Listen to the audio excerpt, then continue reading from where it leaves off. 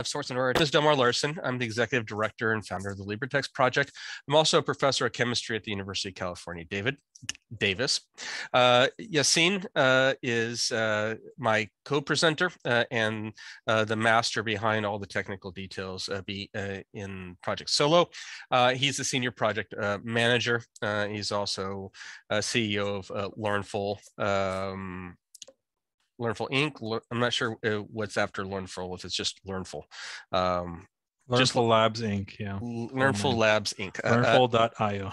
There you go. Thank you. Sorry about that uh, uh, and such. But anyways, let's get uh, going here. So I'm going to give a little bit of an overview of some of the things that we've talked about. But begin first, I want to talk about how happy we are that we are 14 years old. Um, so it was last week that we had last week, 14 years ago, that is, that we had the very first save in the very first wiki um, that constituted the, what is now the LibreText project. Then it was called the ChemWiki uh, because I was a professor of chemistry. I was particularly interested in targeting chemistry, uh, OER, uh, and it was born out of a need in order to address uh, costs because a lot of my students were not uh, purchasing the textbooks in my classes, and that was a particularly detrimental thing.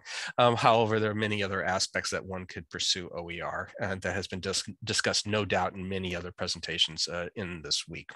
Um, so let's start uh, with what I start all my presentations, which, which is the mission statement of the LibreText project. We're implementing a community-built platform for the construction, curation, adoption, and adaption of OER that's comprehensive and can be curated at multiple levels. And each of these uh, bolded uh, uh, words, the three C's, are exceedingly important in order to dictate who we are and why we uh, why we operate uh, how we do. The first one is community. Uh, it's important. It, it, OER by definition is a community-based entity. It's designed in order to um, actually hold on one second here. I want to uh, make the uh, scene. Actually, Jen.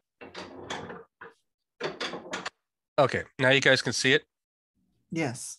Okay, so uh, fine. Uh, let me start again from this beginning um, before we have any other uh, genitalia uh, come on uh, top of our screen. So we're implementing a community-built platform for the construction, curation, adoption, and adaption of OER that's comprehensive and can be curated at multiple levels. OER uh, operates as a community uh, where you create uh, resources and then you share those resources, the five R's underlying the, uh, as a constitution underlying OER. And so that means that what we're building is a community built, uh, a community used uh, resource. And that includes everybody that's at this meeting um, that is not drawing nasty things on the screen. Uh, OER can be defined in a variety of different ways, although, like I mentioned, there are core principles behind OER. Uh, and I'm going to, for the sake of this conversation, just uh, call it free textbooks or freely available textbooks. And if you want to talk about subtle details behind that, we can do so after the presentation. It's comprehensive in that we follow a no gap left behind policy. So while uh, our project was uh, uh, implemented out of a chemistry based project. Uh, we've expanded in the 15 or 14 years since we started uh, to essentially cover uh, every field in academia uh, uh, that's horizontally and also at, at, different levels from kindergarten all the way up to graduate level. So we're both vertically and, and horizontally expansive. and we consider no gap to be left behind. So if something needs to be filled, and there are lots of things that need to be filled, we're very excited in order to work on doing so. Uh, similarly, we follow a no tech left behind policy. So as emerging technologies become available, typically uh, OER or openly licensed uh, or open source, that is, uh, we capitalize on them, uh, bring them into uh, our LibreVerse, and then provide it as a set of resources for other people to capitalize on for their OER needs. And lastly, the content that we create uh, and we host uh, has to be curatable that is livable living gives us the ability in order to take stuff and update them uh, and uh, in, ensure that they have the flexibility in order to be able to address uh, changing standards of um, accessibility or DEI or other things like that uh, that static or dead libraries like a pile of PDFs have a difficult time in order to be able to address um, so what is the LibreText? Well there are three primary mechanisms in order to look at the LibreText project. One is as a construction platform, uh, that's primarily through authors. One is a dissemination platform, uh, which could be through authors or it could be uh, from uh, people who've con constructed stuff off of our site and used the LibreText off of that. Um, and they can be also used or viewed as a learning platform, which is a more student uh, view uh, that has a variety of components in terms of being able to guide the pedagogy of what we're dealing with here. I'm not going to be discussing these uh, in particular, um, but I want to focus on what the LibreText project is right now. The LibreText project um, is tied together into what we refer to as the LibreVerse. And the LibreVerse consists of multiple uh, uh, instances um, based on underlying technologies that change from one instance to another instance typically uh, in order to be able to provide a massive infrastructure that's very powerful for people to be able to use. Um, the core of that are our living libraries, which consist of 14 interconnected but independently operating wiki-like uh, technologies. Um, these are operated out of a company down in San Diego called CXone. Uh, and then we have these ancillary technologies meant in order to advance beyond just a traditional text-based version or text and image-based version of a textbook into the future. In other words, next generation textbook. And then includes things like the homework system, uh, our ADAPT system, which I've discussed multiple times this week, uh, Project Solo that we're going to be talking about um, in a few moments. Uh, Jupyter Notebook system lets us embed executable code into our textbook. Uh, servers designed in order to keep JavaScript code so we can actually tap into and utilize more advanced features than what again text and images provide. Learning analytics uh, uh, for guiding uh, instructors of record in order to evaluate their pedagogy uh, when they're using uh, OER or even to evaluate the efficacy of the OER resource. Bot server in order to be able to curate the content collectively, a Commons conductor, which is an interface in order to, uh, on the front end, search through the infrastructure that we have, and on the back end as an organizing tool in order to facilitate the construction of OER, either by individuals or by teams in order to be able to move forward.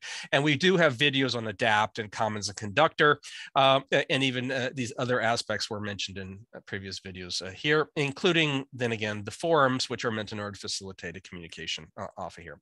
Now, a key aspect behind how we operate uh, is a centralization. These things are entities that we run or technologies that we operate within our infrastructure. It's centralized, it's open access, if not open source. In fact, everything is open source with the exception of some of the core technologies underlying the libraries. Uh, and you can access them, or you will be able to access them via various uh, GitHub repositories uh, via simple searches and such that offer there. But the key aspect here is that this is a centralized approach, and there are benefits and detractions for a centralized approach. Uh, let me skip over that.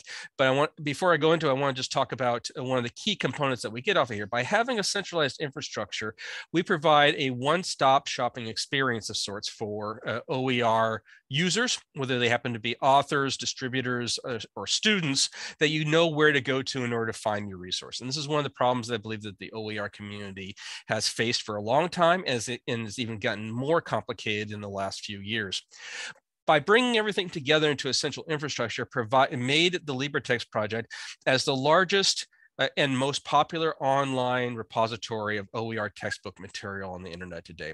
We've delivered close to 800 million page views uh, um, in the 14 years of our existence. Um, and uh, uh on average, we deliver about 750,000 page views a day. And that's an immense amount of activity for a single set of uh, servers in order to be able to address, uh, but we're committed in order to be able to pursue the success off of that. We have close to a half a million pages of OER content uh, on our repository distributed roughly equally between what we call centrally curated textbooks, uh, uh in our central bookshelves and campus curated content in their uh, campus bookshelves. So it has a little bit of flexibility and uh, stability off of here that we uh, we develop. And as you can see, we've been uh, uh, growing fairly pseudo exponentially since we started back in 2008. that's out there. So let me talk about why we do these things. Now I'm getting a little bit on my soapbox here, so uh, please bear with me for a little bit, and you can understand why we do what we do and why we are implementing this, the project solo. So uh, the OER universe is fragmented. Um, so the opposite of a centralized approach would be decentralized. And when things are decentralized with no communication infrastructure from one instance to another instance, I refer to that as being fragmented. Uh, and fragmentation is, is a serious problem in any sort of field trying to move forward. Um, for example, if you're trying to find OER content out there, you can find links to OER content in the Open Textbook Library. It's a referatory, so it doesn't actually hold content out there, but it tells you where to go find content. OER Commons does have an authoring capability, but most of its utility is in terms of also being a similar referatory out there. OpenStax uh, is uh, holds its own content. Uh, um, Merlot uh, is a mixture of referatory and repository. Open Has content, Galileo, Open Oregon, NOBA, BC Campus, eCampus Ontario, Alberta, uh, Saylor, uh, California State University, uh, um, individual campuses like Oregon State University, and many, many, many other campuses have OER content. now, some people consider this to be really a good idea. Uh, things are distributed across different spots. Uh, they're able to embrace and grow off of it, and there are some benefits associated with it. But there's some key distractions or, or, or uh, negatives associated. And for example, let's say you have 10 different copies of the same book distributed in 10 of these different repositories or links to repositories out there. And you need to update the content on one of the books because you improve it because OER needs lots of editing. It still does, uh, and it will for a very long period of time. Uh, so when you upgrade one chapter in one uh, campus has updated, another campus uh, does another chapter, another campus does another chapter. And if you have no mechanism to bring them all together, if it's a fragmented infrastructure that hosts these contents, then what happens when a new person comes in or a new campus and they want to adopt that book? There's no mechanism to take the benefits off of these things, no versioning capabilities in order to be able to pull it together so you can get the most advanced feature off of there.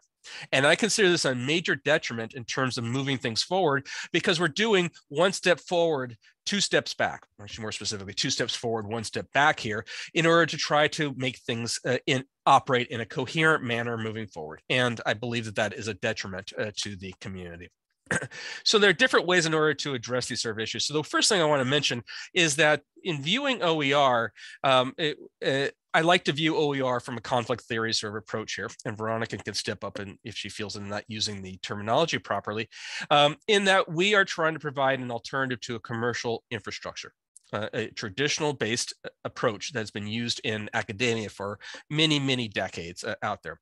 And there are different ways in order to do that. So if you have lots of different uh, fish in the sea that are doing each of their little OER project, uh, it's all heavily fragmented. If you want to compete against the big guys, and the publishers that have uh, lots of money and have been working on this uh, infrastructure for a long period of time, um, the one right way is to get everybody organized. Uh, you work to take that fragmentation, fragmented infrastructure, and make things work in a concerted manner.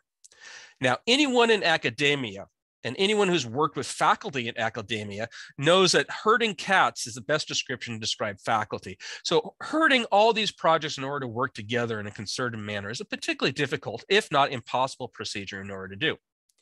So what do we do? Well, I don't want to give up. So what we want to do is we build a bigger fish centralize everything where we have control over it, we curate it, and I should be specific, when we use the term centralization, we're taking advantage of the O in OER, the openness and the sharing capabilities in order to bring it together.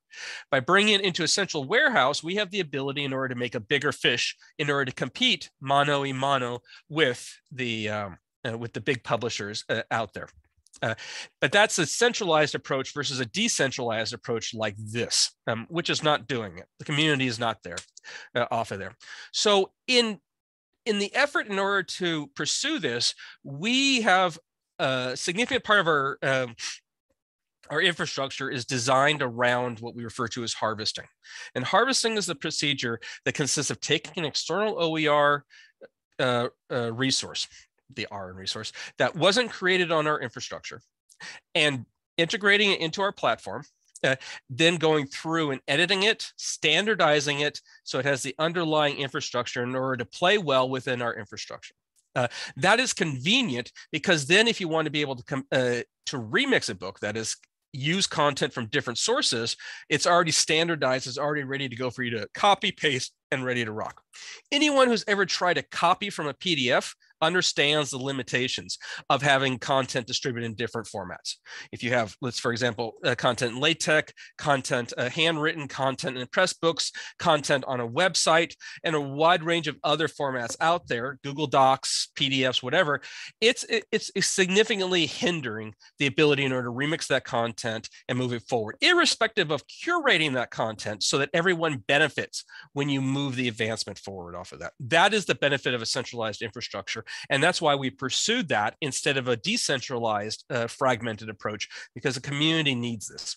Now, not everyone believes that or agrees with me in the community, but this is our belief, and this is how we've actually been moving forward uh, with the development. So essentially, when we harvest OER content, again, capitalizing on the O and the whole point of OER, we're creating a bigger bucket of Legos for communities in order to take and be able to put them together and construct uh, your vision out there without having to have bits and pieces of Lego blocks with Duplos, with Lincoln logs, uh, with range of, uh, uh, of other things that just don't interact very well together uh, off of that. So we're centralized, we're standardized. It provides an interconverted infrastructure. You can start to use that to build collections, AKA textbooks, although you can build collections around things that wouldn't be considered a textbook. For example, the collections of labs or visualizations, or because we have a homework infrastructure of H5P exercises or other things that are important uh, for uh, operation. It provides infinite flexibility, just like anyone who's played with Legos can build wide range of different things, and it's curatable. So you can update the content and then everyone benefits. Now, I know that's the third time I've mentioned it, but it's a key benefit from a centralization that you don't get from a decentralized approach. Um, so you can look at trying to build an infrastructure off here, and this is how we look at it, that you have a centralized platform and a decentralized platform. And this is one of the issues I have with uh, people talking about this in the community, is that both of these approaches has pros and cons. So anyone that just focuses on the negatives of one versus the other either doesn't understand uh, the complexities behind these things or chooses not to understand the complexities behind these things. So the centralization provides the ability of high stabilization, high fidelity. Uh, it it does lack local control, which could be good or bad depending upon uh, the local individuals. It is effective in community sharing uh, because, by definition, it's centralized. It pools the resources uh, and it's efficient off of that. The decentralized platform in, uh, gives uh, uh, significantly larger flexibility in principle, although you can work around that, but it does generate a fragmented ecosystem. it requires independent resources uh, uh, and it's generally inefficient. However, some people believe the flexibility outweighs the inefficiency uh, as it operates. Another way in order to look at this approach is, is from the uh, is from a network approach. Uh, so if you were to take a view uh, of a centralized infrastructure where people capitalize or, or take advantage of the infrastructure. Um, this right here uh, doesn't scale very well because you constantly uh, you constantly have to increase the eh, the magnitude of uh, the centralized infrastructure. Um, it is a single point of failure. Now, a single point of failure is a common argument against the centralized infrastructure, but it's only really applicable uh, in the in the case where everything is stored on that single source. But the open infrastructure has content distributed in a variety of different places. So therefore, this point of failure argument is largely moot within the OER infrastructure uh, out there. An alternative, uh, if you're able to make a fragmented uh, infrastructure that is networked, so things can communicate with each other, you can handle that curation aspect if you do it right um, uh, but you don't have uh, the issues associated with centralization. It scales well. Uh, it, it, has uh, reduced centralized resources. It's a more robust network. This is one of the reasons why the internet was created in order to establish constant or multiple flows from one source to another source. And what we're trying to do in constructing our, our expanded LibreNet, which is our consortium infrastructure, is building a network that reflects a little bit of centralization and a little bit of decentralization that's out there. Now that's for our consortium membership. That's for the people who have uh, that that take advantage of our centralized existing centralized infrastructure off of that. Um, let me skip over that uh, and go into where solo comes in with this bigger picture of things. Um, so I'm getting off my soapbox uh, and I'm starting to explain uh, where we're going here. not everybody is uh, in the in the OER community or even in the greater world is 100% behind a centralized approach of doing things. Um, and this can hinder uh, the impact that we have as a project in order to be able to distribute the resources and distribute the technologies that we have established to the greater uh, pool. One of the efforts that we are starting to implement as part of our global impact, and I will mention that 55% of our traffic is actually outside the United States. So I already have a global impact, mostly in uh, the former Commonwealth, where English is the lingua franca or the official language uh, of the country. So we want to be able to expand into other countries, especially uh, in developing countries or countries that have very large at-need uh, populations, and more specifically to address uh, countries that English is not the primary language.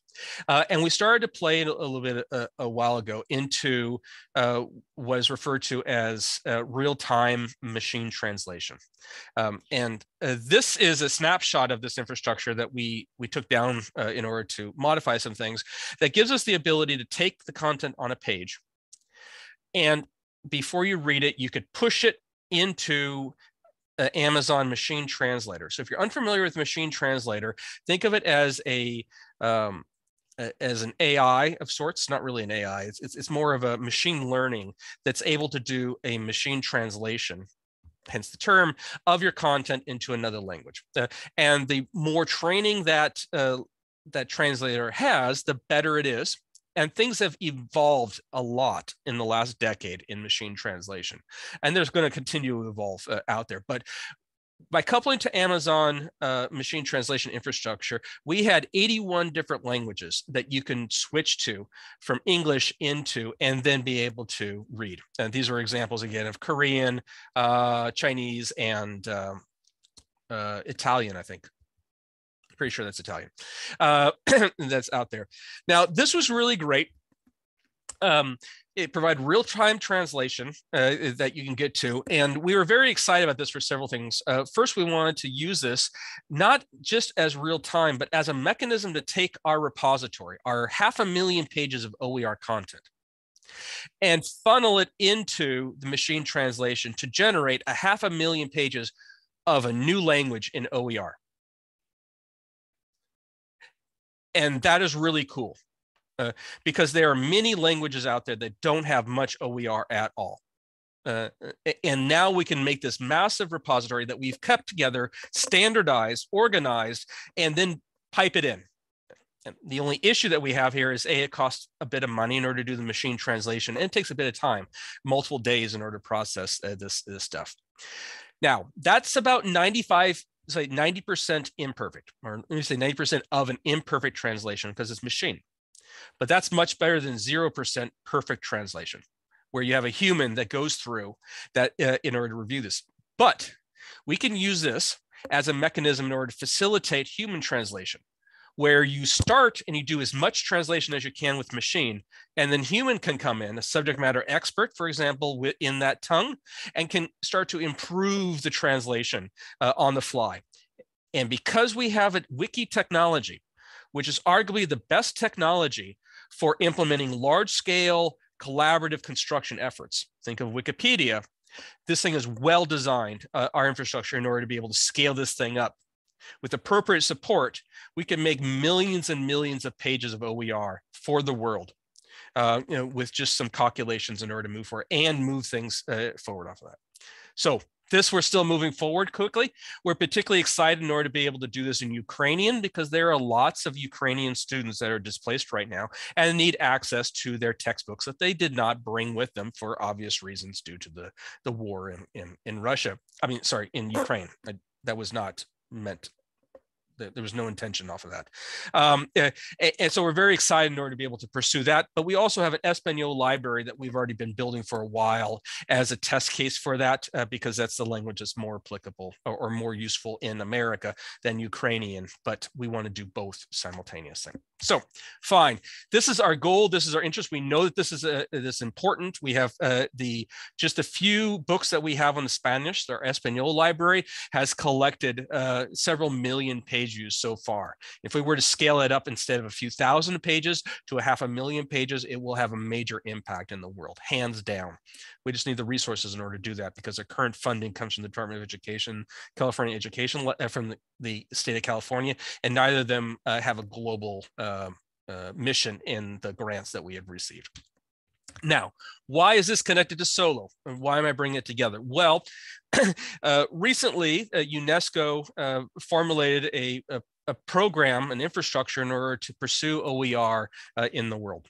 Um, many campuses, let me rephrase that, many countries have a requirement uh, that, uh, that OER has to be hosted on open source technology. Uh, before they can do that. So in that case there, our centralized approach operating via open access technology, although not open source with the core libraries, although we could switch it over, but it's silly to do that because our current uh, partnership with uh, with NICE CXone, it really provides a, a, beautiful infrastructure for moving this thing forward. But we need to be able to move, uh, uh, uh come up with a different solution in order to be able to reach into these uh, countries that really would benefit from our uh, repository. In order to do that, we started to implement what we could refer to as Project Solo. And Project Solo is designed in order to make a standalone version of the LibreText or the LibreVerse infrastructure.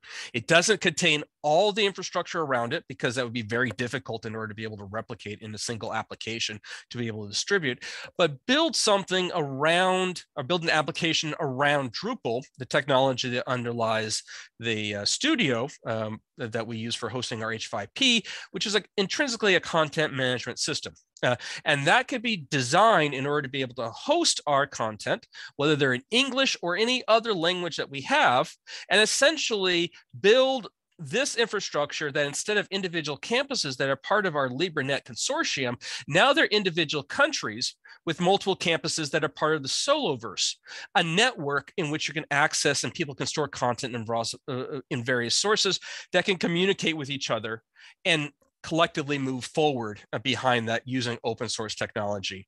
Now, the key point off of this thing is that we will still be operating as a central curator of our content. We believe that's critical in order to be able to move things forward. However, individual campuses can expand beyond what we've established and tap into or will be able to tap into our central corpus in order to pull into.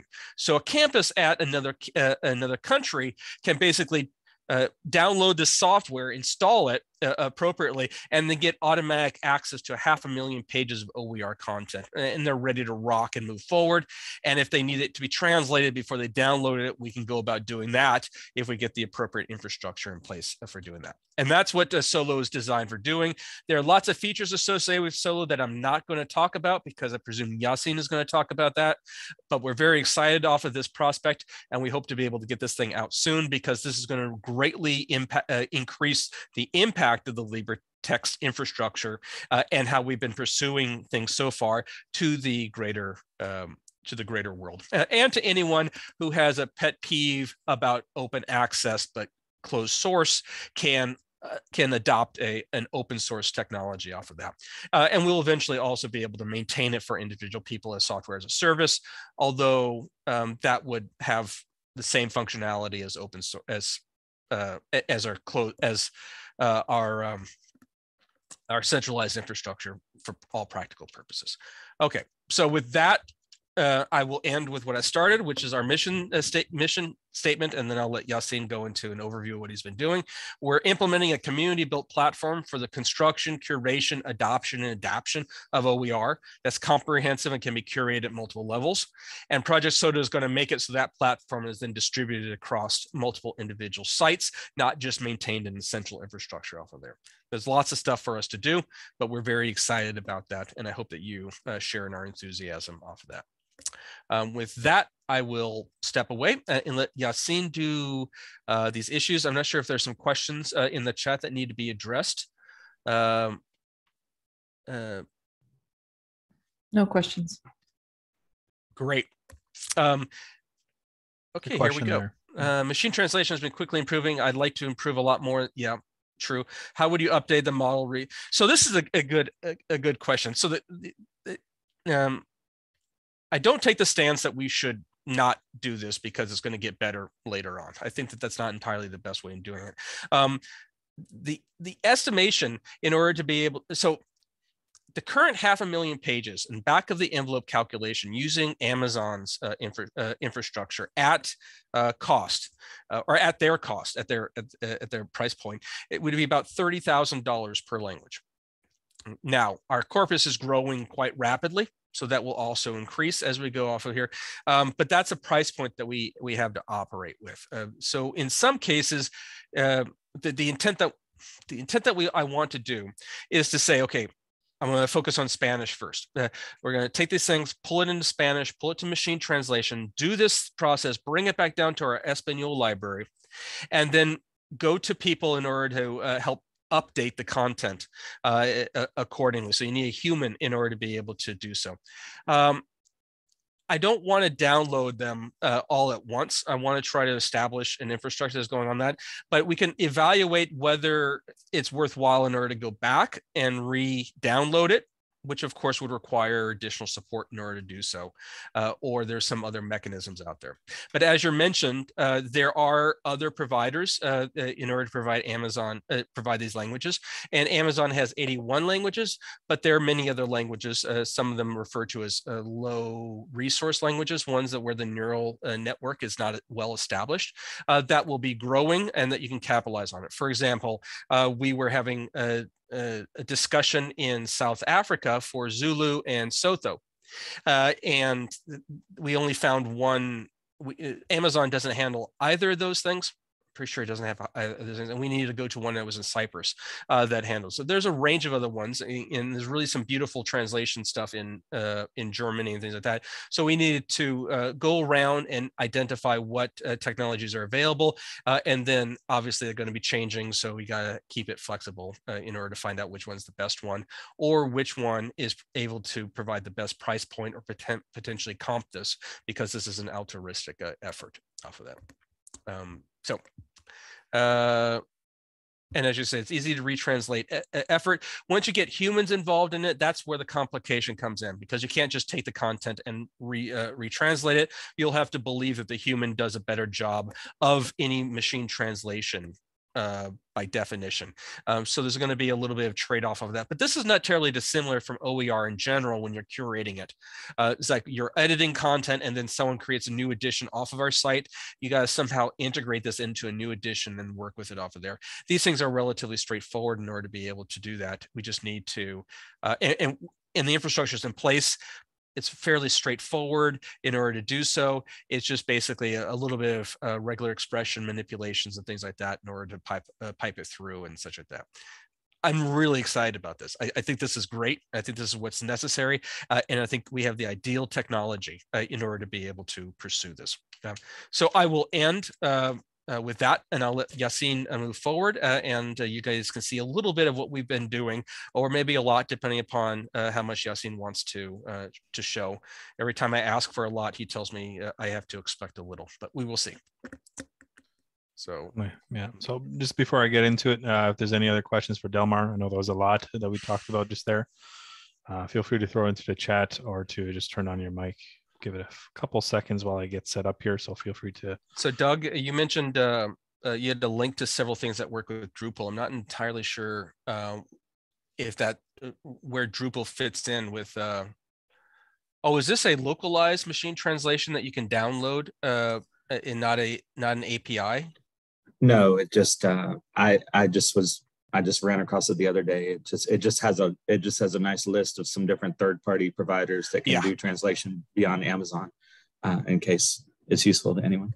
Um, it I is. I mean, so there, there, there's there, there's some evidence that there are other uh, that other technology that other people's technologies are better than Amazon, especially in certain languages uh, that are out there. Uh, and I and the low resource languages uh, have lots of flexibility and lots of needs for improvement, especially when you're dealing with sciences, when there just aren't words for many scientific terms uh, that you can translate. And there, uh, I've even encountered several different projects designed in order to try to address that and decolonialize decolonialize their uh, their language uh, and bring it back into uh, service. The same thing also applies for not just uh, external to North America, but there's uh, an effort in uh, Canada, and there there's to a lesser extent, I think, in America, uh, for uh, addressing indigenous uh, Native American or First Nation uh, languages in order to uh, start to reflect that as a valid um, environment in order to move forward off of that.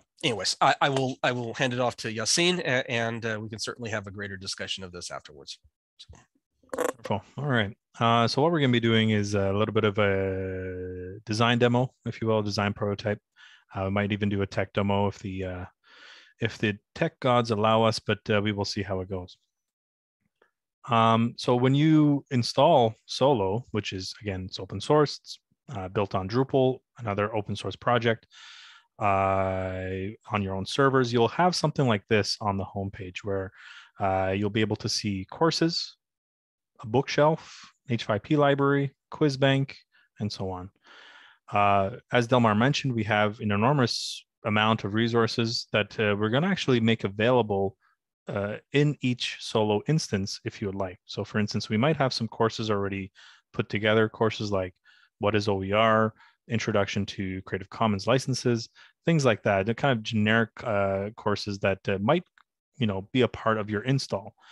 Uh, same goes with the bookshelf. Like the the idea here is that when you install Solo on your own instance, you're going to have access to uh, the translated books or uh, essentially whatever books we can have available uh, in this format. Uh, and of course, the entire idea is that uh, within uh, this in, infrastructure, your instructors, your your designers, they'll be able to create courses, books, H5P, a quiz bank, and so on and so forth. Uh, so here we're looking at courses. Uh, you know, eh, let's say this is the course that me, myself as a student, I'm interested in taking. Uh, and when we say course, uh, just one one thing real quick. Um, uh, don't think LMS. Think more something along the lines of a, course on LinkedIn Learning or a course in in Coursera or something like that. so this is the course that I'm interested. In. I'm going to click on that as a student that's not a part of this course yet, this is what I would see. I would see, uh, you know, the, the outline of the course, any announcements from the instructor, an overview, any other sort of metadata, including licensing. Uh, my first step as a student would be to essentially enroll into this course. Once enrolled, this is kind of what I would expect. Uh, uh you know, it's very similar to any sort of textbook authoring or content management authoring uh, platform. I would have my outline or my navigation on the left-hand side, my content uh, on the other side here.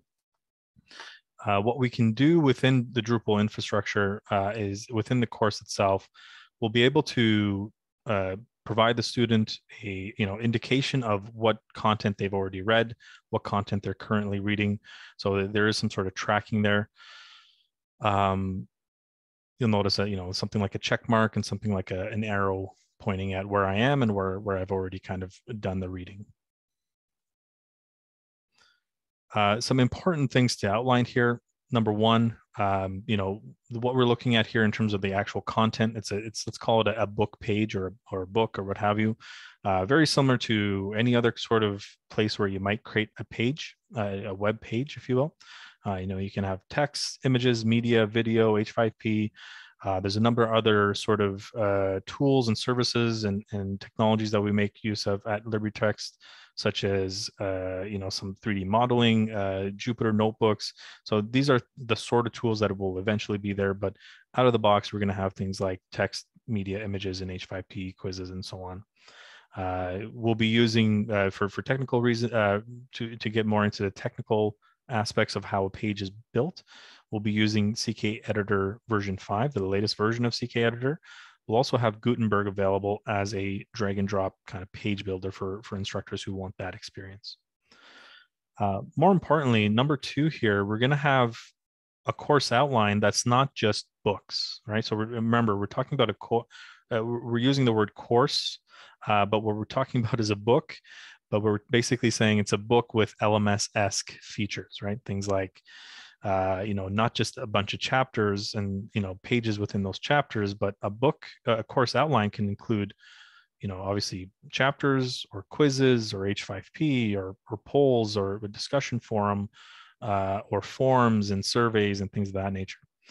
Uh, so uh, what my course outline includes, and we can see some icons here. In this case, we have a chapter, uh, which could be a chapter that I've written. So remember the first page that we had there, the home page, we can go into books and we can see all the different books that were there.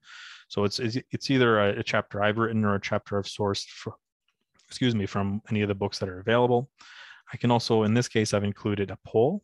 So this is just like a, a survey of sorts, uh, a live poll for my students.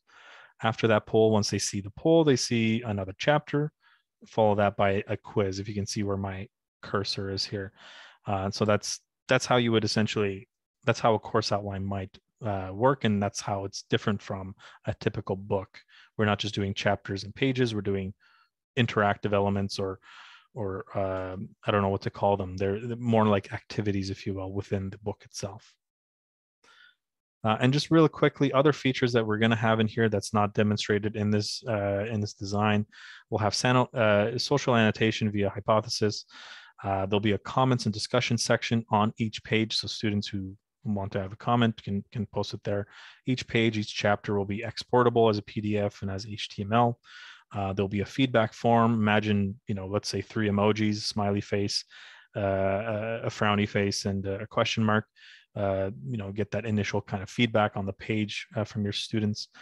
Uh, remixable at a page and chapter level. So as an instructor, I'll be able to see a book or a chapter or a page and immediately create a copy of that page in that state of time and uh, basically take that copy and do with it what I would like to do with it.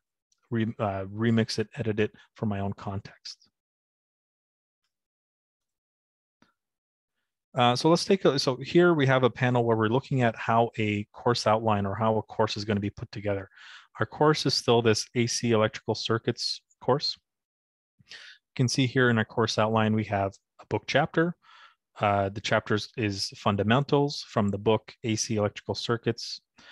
Uh, there's the license for that book chapter. There's the author of that book chapter. Uh, after that, we can see uh, we have a poll. Uh, what is your favorite graphing tool? After that, another book chapter. That's the name of the chapter. That's the book it's from. Then we have a quiz. That's the name of the quiz. and then we have another chapter. And so uh, below that, we can see that we can continue adding to our outline. We can add more chapters, more quizzes, polls, surveys, forms, and discussions. Uh, we also see information about, you know, uh, is this uh, is this element, is this object in our course outline enabled? If it is uh, enabled, it means that uh, students are going to be using it. then, you know, you know that's what that tag essentially means. Is it visible in the outline? You know, if it's enabled but it's still hidden, maybe I don't want want this specific curriculum or this cohort, I should say, uh, using this chapter. I can hide it if I'd like. Um, is completion required or not required? So uh, do I want students to be able to uh, complete their readings without reading this one specific object or, or activity? Is it skip is it skippable? Do do does a student need to finish reading this chapter before going to this poll or any other sort of object sort of uh, stop gaps, if you will. Um, so this is uh, essentially how a course outline will be built. Um, you can see it's, it's, it's, it's Lego pieces, right? It's book chapters from books that, you know, will be pre-populated via LibreText corp, uh, enormous corpus. Uh, or by books that your faculty themselves, your designers themselves are creating, and I can just source or a book that I've created, published within Solo itself. Uh, and the same goes for polls. Again, that could be sourced or it could be a poll that I create. Uh, same goes for quizzes. Quizzes themselves at a at a bulk level, the quiz entirely can be sourced externally uh, by by by another user, or it could be a uh, just at a question level. I can pick specific questions that I want to uh, kind of Lego piece together to build my own quiz, if you will. Hopefully that makes sense. You'll also notice here that we have uh, enrollment, we can we can take a look at which students have enrolled in our course when they enrolled and what their progress is uh, we can uh, we can force enroll students or remove students from the enrollment if you like so managing the student essentially. Uh, and we also have course reports.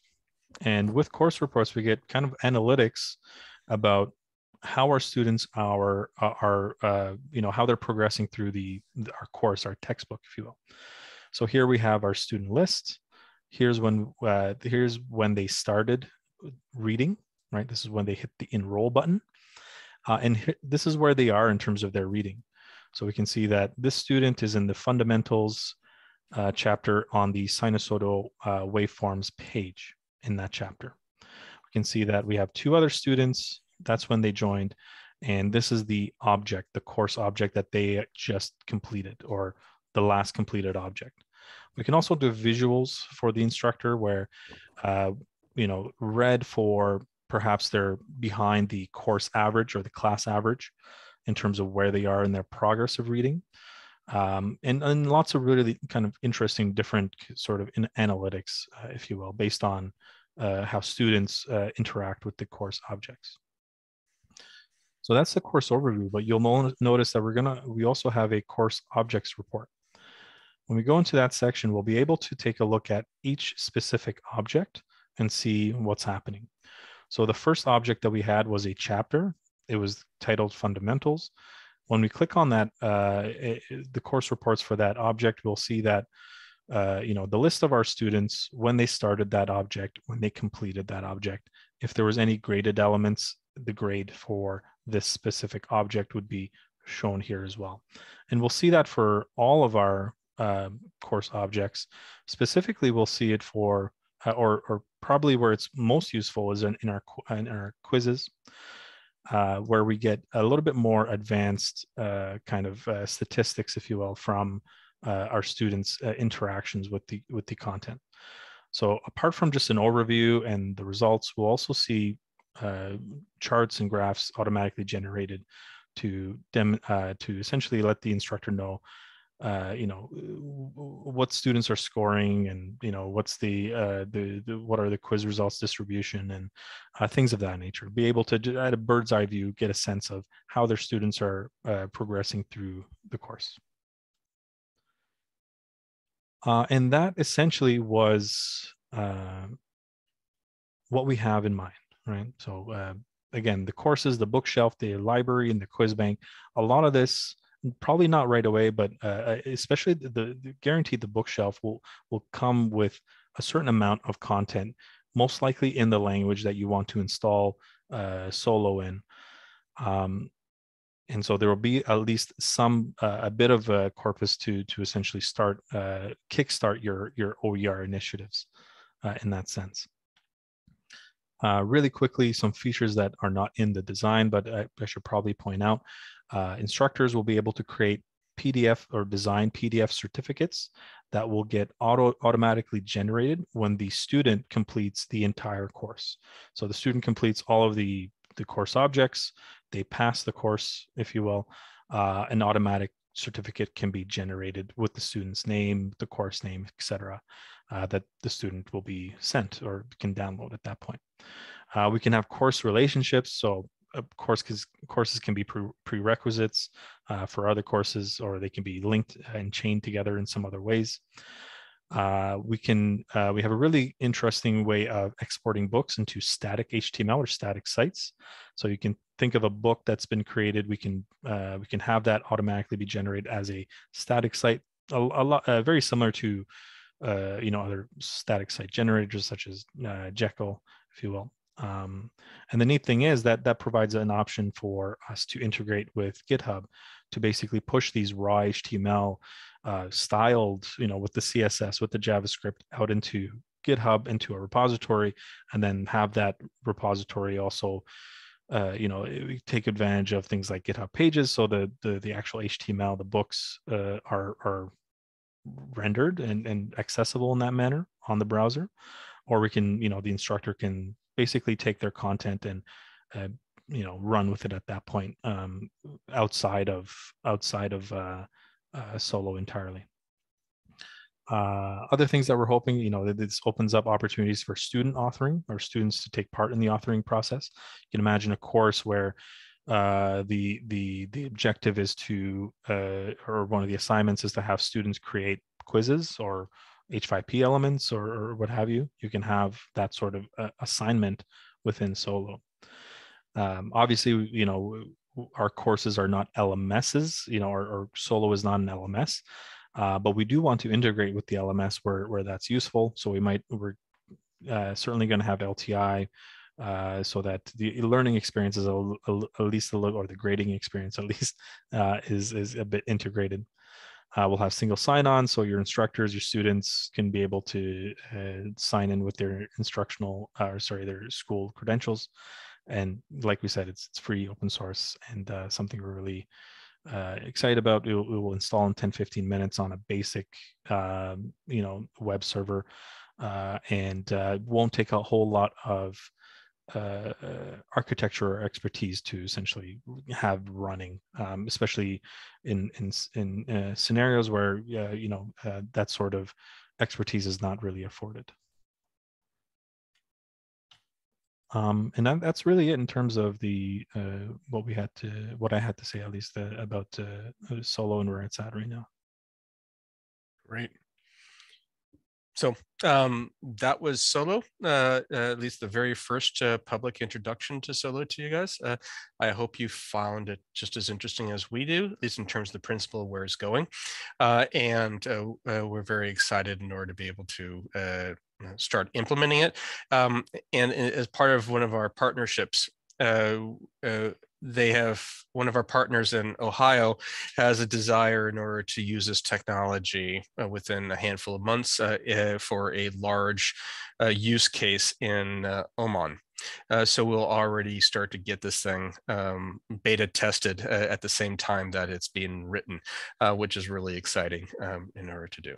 So I know I use the word exciting like every fourth word, uh, but it, it, really is uh, uh, it, just the, the, scope of being able to take the corpus that we've uh, grown and harvested and cultivated and standardized and like and make it so that there are multiple avenues in order to access it and and and distribute it, and it's just just really great. So there you go. Again, feel free if you have any questions or concerns uh, or feedback off of that to either contact uh, myself directly or Yassine directly.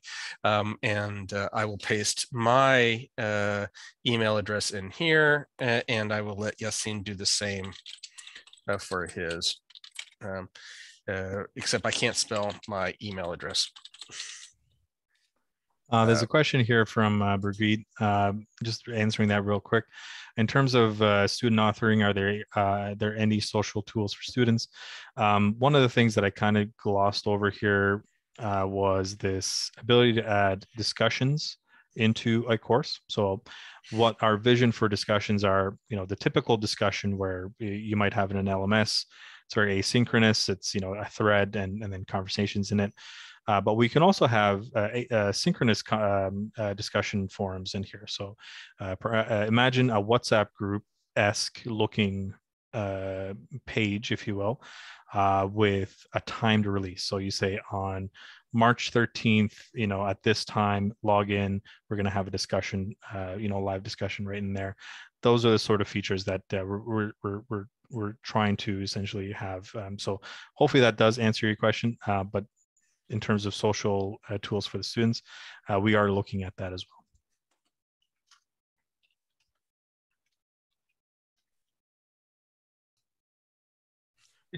we discussed the the aspect associated with the content changing languages. Have you started to take a closer look at the um, the the user experience uh, operating in a polyglot manner? I don't know if that's native to Drupal or if that's something that needs to be explicitly uh, wired in. Uh, which specific part? Let's say everything on this page I want to switch over to Ukrainian. Oh. Um, uh, so is, is there a polyglot option within Drupal or is that something that we have to carefully wire in? No, luckily uh, Drupal, because it's such a global uh, initiative, uh, it's already translated in pretty much every language. Um, that's the interface at least. Uh, and there is, uh, you know, I18N and I11N integration. So uh, or implementation, I should say. So we do have the ability to translate the entire interface in in whichever language. Obviously, that's uh, requires effort on our part to actually translate words like H5P library uh, or my quizzes uh, to ensure that you know it's it's available in the language that it's installed in but it will be able to users will be able to install it in the language that they want and translate it themselves even if they, if they like and perhaps that that's one way that we can kind of work together with with our organizations to ensure that you know we're, we're uh, we have the entire interface uh, translated in in their language. Let's say we said something like this. I'm i'm asking myself quite asking us questions because i i'm interested in these things. I'm sorry. Um, uh, are there any complications in terms of running the Drupal technology in a dynamic load leveling uh, uh, aspect like Amazon Lambda or so? Because if you wanted to be able to run one of these things for a small country uh, instead of just an individual campus, one can imagine that the instantaneous load might be enough in order to start to pull down an, a single server based instance of that. Is that something native or is that something that we have to carefully construct for, for people? Uh, it, it is fairly native. Like uh, okay. we can we can scale it in, in in lots of different ways. Okay, great. There are a few questions off of here. Do you want me to answer, uh, respond, write them, read them, or do you want to do so? I can read it here. Another question from from Brigitte. Um, it's a great vision, very impressive. Also answered my other question, but if you want to comment more, this platform lends itself to highly evaluation-driven form of pedagogy. How does that fit in with the open pedagogy principles? Listening to students, giving them agency, making them co-creators. Absolutely, this is something we try to do in LibreText all the time. Like uh, we, you know, we want students to have not just agency but to have you know ownership on the the the a lot of our instructors try to uh, essentially achieve this through our technology to, to for the students to have um, you know to take ownership in the in the learning process. Um, through solo we're hoping that it's a little bit even extended beyond that with with students being able to author uh, you know or co-author entire books h5p quizzes and uh, quiz questions uh, to to evaluate the the the the, uh, the course content and to uh, to have their um, their their presence essentially um, kind of um, i'm not going to say graded I'm, I'm trying to find the right word uh, but their presence kind of accounted for if you will. Uh, right here you'll notice that there's a that there's a number underneath the username uh, 2330xp um, very kind of slight indication that we're also going to have like a user points based meritocracy kind of caked in at least a basic one uh, into the application. So as students interact with stuff as, as they vote things up and comment and and like and bookmark and etc you know just like any other kind of social media platform if you will um, they're uh, you know the, the, they're they're helping shape uh, the, the the the the system that they're they're they're contributing to and and that's ultimately uh, the goal um, uh, obviously baby steps as we kind of get there I, I, may mention something on here, and this is part of a conversation that I, have had in regard to the adapt homework system, but I think Drupal is better suited in order to handle that. Um, it, the LibreText project was born out of open pedagogy within the uh, the goal of utilizing students uh, as uh, say manual labor of sorts in order to be able to construct uh, books and move it forward. And there are pluses and minuses in order to be able to do that. But certainly from a pedagogical perspective, they're all pluses. Um, one of the things that I've had a, a, desire to do is to implement a greater uh, uh, open pedagogy infrastructure in order to be able to uh, have authoring of content and self-reviewing of uh, reviewing uh, peer reviewing of the content and then subsequent cycles through review and edit, edit reviewing and editing in order to be able to make open pedagogy a, a simple uh, button that someone may want to implement uh, in their class without having to start to formulate the complexities behind doing so. Um, and uh, we've had you know, close to 10,000 plus students uh, engaged in construction efforts of various forms uh, uh on the LibreText project over the last 14 years. Uh, so we have a, a general, uh, actually pretty good idea about what works and what doesn't work, as what best practices we have in order to be able to build this infrastructure so you can come in and say, I'm going to do this, and these are the approaches, the different approaches you have to, to do and that is uh, a, a, great feature that I've been dreaming about for several uh, months actually.